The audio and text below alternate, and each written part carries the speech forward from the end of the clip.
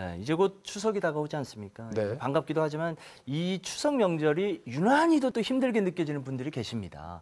바로 택배 노동자들이신데 늘어나는 택배 물량으로 이제 평소보다 몇 배나 센 노동 강도가 이제 어마어마하답니다. 네. 음. 그래서 그 이렇게 사망하는 사건도 있었다 뭐 이런 그 얘기도 많이 나오고 네, 뭐 있는- 제주 지역은 네. 아니고 이제 다른 지역인데 코로나 19로 이제 온라인 주문이나 택배가 많아서 이제 물량 자체가 일단 많아졌습니다. 네. 음. 예, 그러다 보니까 업무 강도가 높아질 수밖에 없고 아까 뭐 말씀하셨던 것처럼 타 지역에서는 진짜 사망 사고가 좀 그렇죠. 어, 발생을 했고 올해에만 전국 택배 노동자 중 7명이 과로로 사망했다고 합니다. 네. 네. 자, 지금 이렇게 좀 심각한 상황이라서 택배 노동자들이 전국적으로 어, 집단 행동에 나섰다고 합니다. 지난 화요일에는 제주에서도 기자회견을 열어서 어, 택배 차량 추모 행진 행사도 함께 열었는데요. 네. 자, 자세한 얘기를 좀 들어보도록 할 텐데 전국 택배 연대 노동조합 제주 지부의 김명호 지부장이 어, 지금 전화 연결이 되어 있습니다. 이야기 좀 나눠보도록 하겠습니다. 안녕하십니까? 네, 안녕하세요. 지금 그 추석 때문에도 좀 많아지고 있지만 이 코로나 이후에 실제로 그 택배 물량이 많이 많아졌습니까?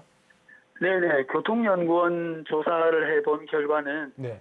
코로나 사태가 발생한 이후에 약 20%에서 25% 정도가 네. 물량이 증가했다고 발표하기도 했거든요. 네네. 아무래도 평소보다도 코로나 때문에 늘어나고 또 추석이라서 늘어나는 걸 다 감안하면 음. 어, 약 50% 정도의 물량이 증가할 거라고 우려를 하고 있습니다. 택배 일하시다가 막 과로사 하는 분들도 많이 생겨나고 이러는데 그만큼 그 업무량이 많이 늘어난 겁니까? 물론 택배 물량이 늘어났긴 당연히 늘어나겠지만 총 근무하는 시간이 코로나 이전에는 약 12시간 정도를 약간 넘었거든요. 음. 그랬는데 이게 약 2시간 정도를 넘게 늘어났다고 조사가 되기도 했습니다. 그렇군요. 네. 분류 작업을 어느 정도나 많이 하시는가요?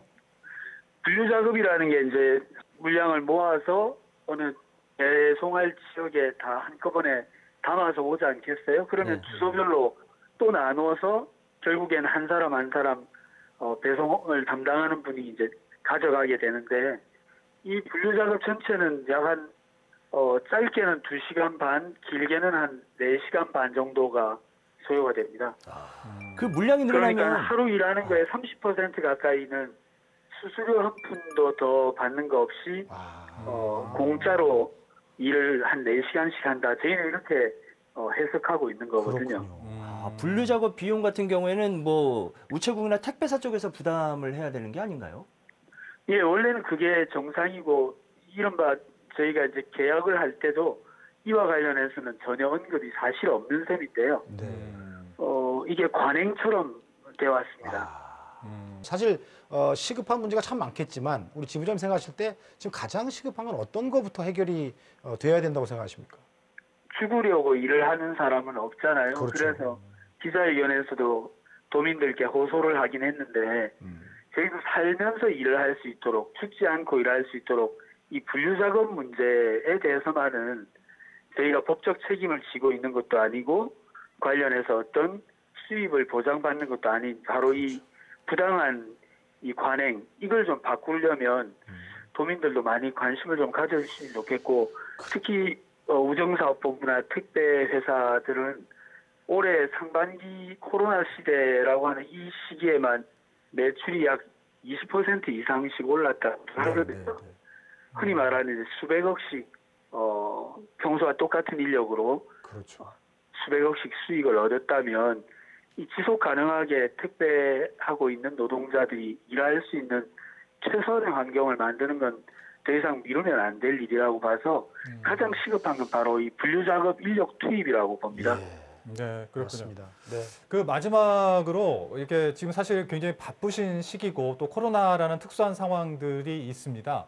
어, 지금 이번 기회를 좀 빌어서 혹시 많은 이제 소비자분들께 어, 뭐 이렇게 좀 뭐 부탁드리고 싶은 네. 말씀이나 아니면 뭐 좀 당부하고 싶은 네. 말씀이 혹시 있으신가 한 말씀 좀 네. 부탁드릴게요. 지난 8월 14일 날 택배 없는 날을 만들어 주신 분은 저희 노동자들도 노력을 했지만 실제 국민들이 성원해 주신 데 힘입어서 정말 구- 꿈 같은 휴가를 보낼 수 있었다고 생각하거든요. 네. 늘 감사드리고 저희가 최선을 다해서 도민들을 위해 국민들을 위해 노력하는 그런 직업인이 될 수 있도록 애써보겠습니다. 네. 늘 관심 가져주시면 고맙겠습니다. 네. 네. 아, 감사합니다. 어쨌든 안전 운전 하시고 건강 잘 챙기시고 저희들이 늘 응원할 테니까요. 네. 힘내시기 바라겠습니다. 네, 고맙습니다. MBC. 네, 네. 네, MBC. 화이팅 한번 해주시죠.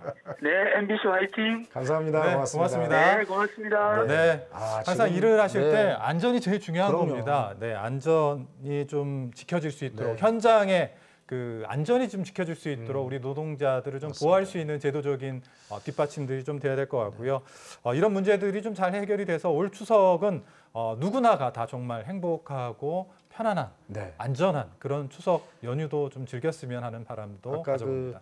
지금 여러분들께 좀 응원의 댓글도 많이 올라오고 있습니다. 네. 어, 우리 싱이 언니님도 야 정말 너무한다 힘내시라고 음. 저희 집도 새벽 6시, 6시 반에 30분에 오신다고. 네, 음. 고생 많다고 이렇게 네. 응원해 주셨고요. 제대로님도 그렇다고 택배 안 할 수도 없고 고맙습니다. 그렇죠. 우리에겐 정말 이제는 뗄래 뗄 수 없는 맞아요. 굉장히 고마운 분들이기 네네. 때문에 어, 그에 맞는 좀 대우 이런 환경들이 좀 변해야 될 것 같고요. 뿌요뿌요님도 우리 택배 기사님들 화이팅이라고 네 어, 이렇게 또 댓글을 달아주셨고요. 하여튼 너무 힘든 일이고 그거를 네. 누군가 대신해서 우리가 편리한 삶을 살 수 있다라는 게 네. 그분들에게 또 고마운 마음을 가져야 되는 건 아닌가라는 생각도 해보고요.